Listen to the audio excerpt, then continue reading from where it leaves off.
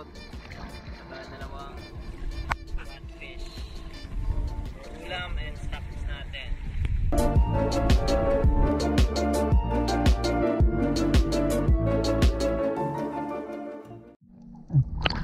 Welcome back to my channel guys, AG here at isang panibagong episode na naman ang inyong matutunayan. Sa mga bago pa sa channel ko, mag-subscribe kayo para palagi kayo updated sa mga bagong videos nating lalabas.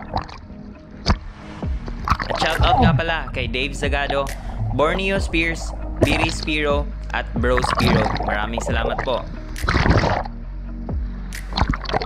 Habagat season nga pala ngayon dito guys, kaya pahirapan ang pagpunta sa spot dahil sa malalaking alon. Shore dive lang muna tayo kasi mas mahirapan tayo pag gagamit tayo ng bangka at mas delikado pa. Dito yung pinakadelikado na area guys dahil sa breakwater kasi mababaw ang reef ang ginagawa ko. Lulusong ako dyan sa ilalim, matetest talaga ang buoyancy mo dyan hanggang sa malalim na part. Iiwasan mo lang nasasabit ka dyan sa corals pag hinihigo ka ng alon.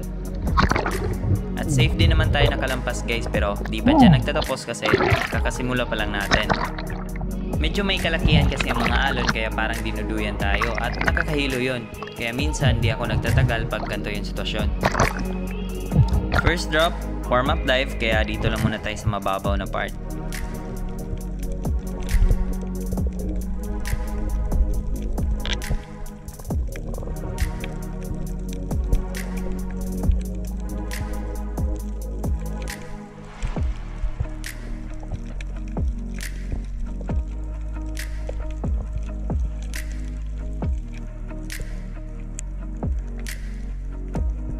Second dive guys, since naka-warm up na tayo, baba na tayo dito sa may ledge.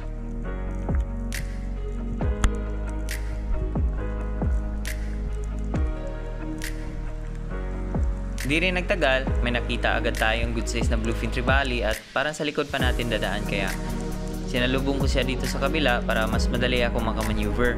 Pero, ayan, di ko nakita. Dito pala, hindi dumiretso.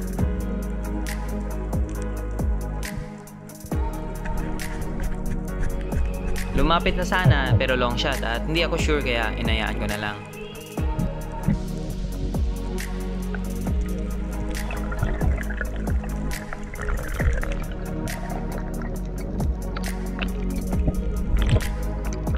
Mga basi drummers pala to guys or ilak ang tawag dito sa amin. Masasarap na isda din kaya lang nasa big school.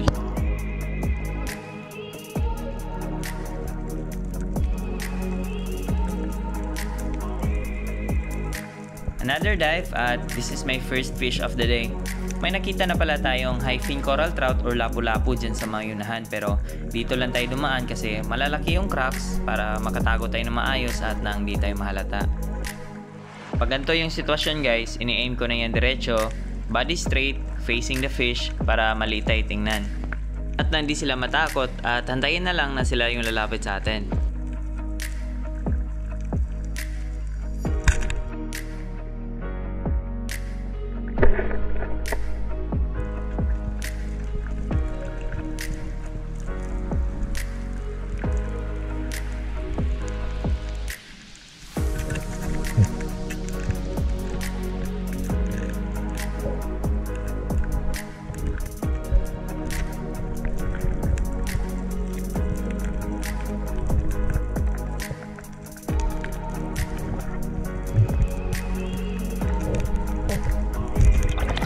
Medyo may pagka-gray yung kulay ng isda na to guys pag andito sa ilalim pero pag angat natin, dun mo makita pa unti-unti yung totoong kulay nila.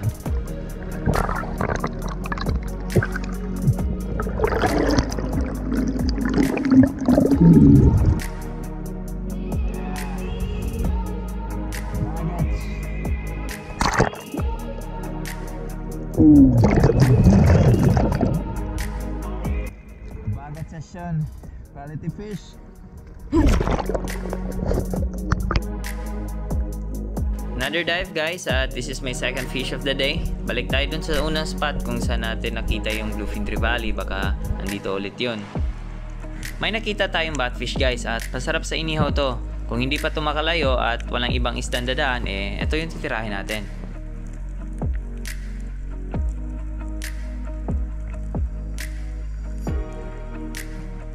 Wala na nga ibang dumaan guys at paangat na ko kaya ayan, headshot.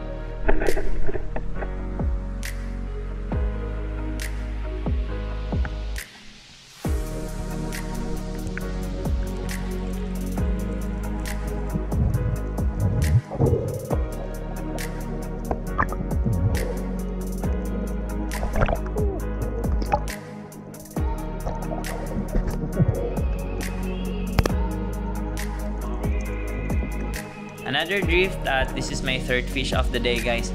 May nakita ulit tayo na fin coral trout at medyo malaki-laki to this time. Pero habang papababa tayo, pababa din siya dun sa may ledge.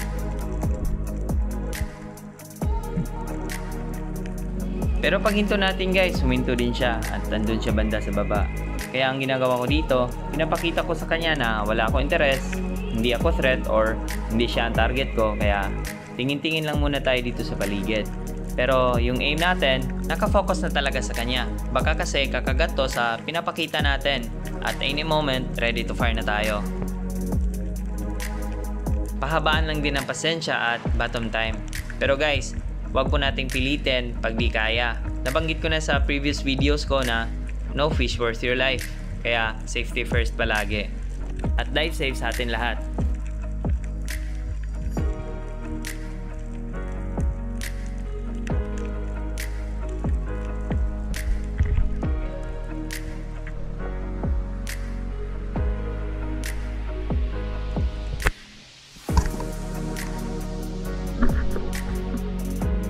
Good shot pero pumasok sa my crack. Nakakabawas ng oras guys pag magre-reel pa ako ng line kaya iniwan ko na lang yung spear gun dyan since di naman yan lalayo. Pagkatapos ng breathe up natin guys at comfortable na tayo mag-dive ulit, i-recover na natin to.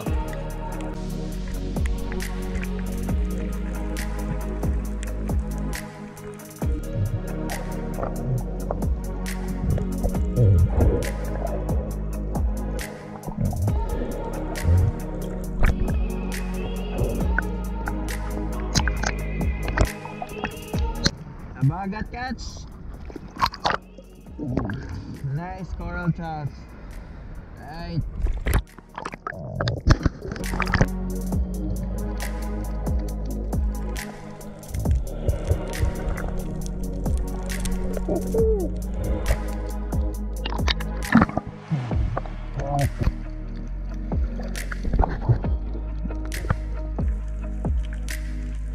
One last dive guys since maliwanag pa naman and this is my last fish of the day.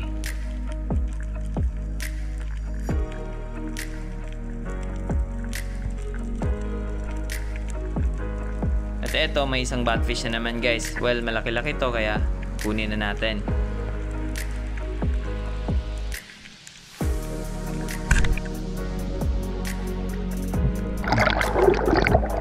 Pauwi na tayo nito guys. Hindi na natin antay na dumilim kasi kita nyo naman napakadelikado ng part na to. Pa-low tide pa naman at ang laki pa ng alon.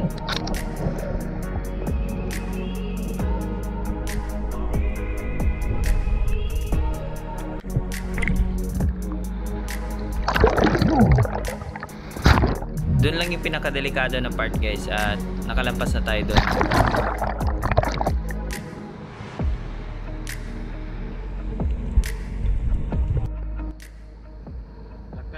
Abagat guys, yan.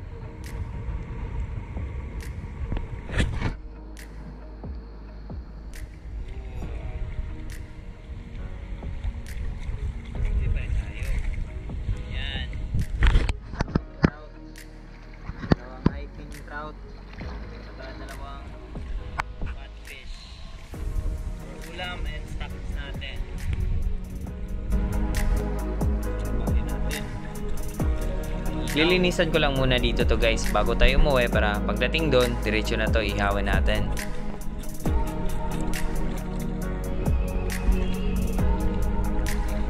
At hiwaan natin magkabilaan para maluto talaga guys. Ayan.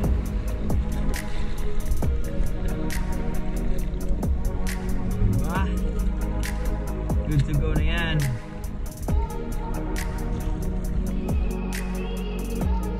Ganon din guys, gagawin natin dito sa isa.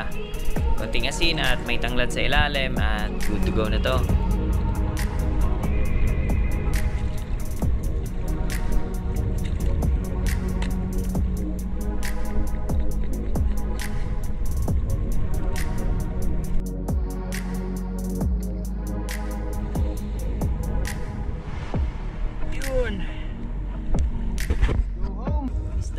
ulam guys pero yung pamaypay carbon lodi.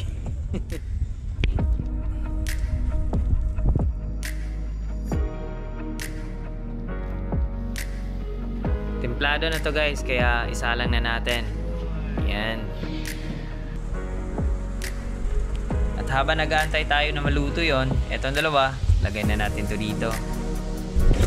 Yun.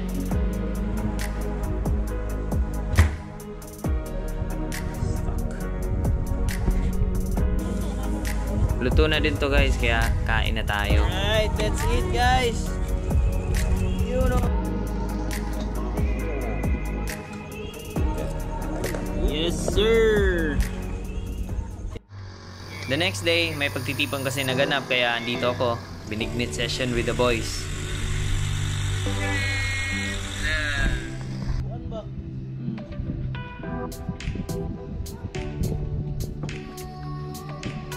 May bagong gawa kasi yung mga kaibigan ko dito guys. Ayan, DIY na wakeboard winch gawa sa makina ng motor. Kaya andito din ako para makapag-test na rin.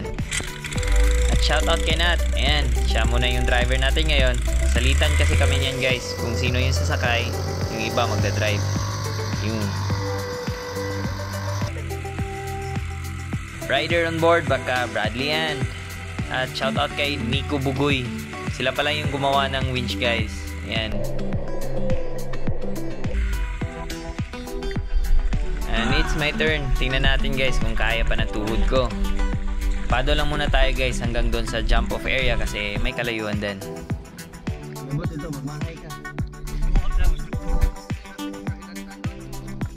It's my turn guys. Here we go. You know.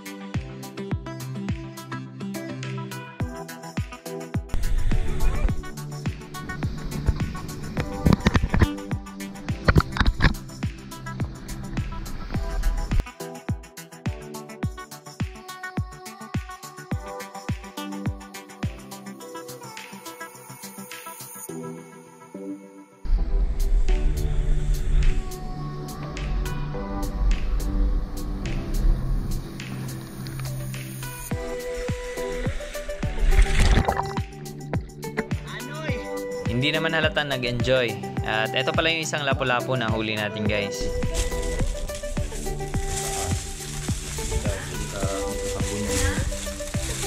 Sige pa.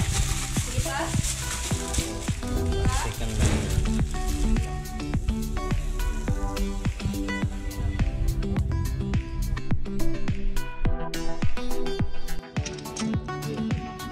Ready na natin to guys. Ayan. Chadang Works yan. Shout out.